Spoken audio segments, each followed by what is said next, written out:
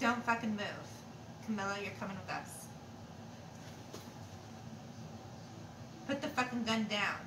Down now. You put your guns down. What are you doing, John? I don't fucking know. Then give him back the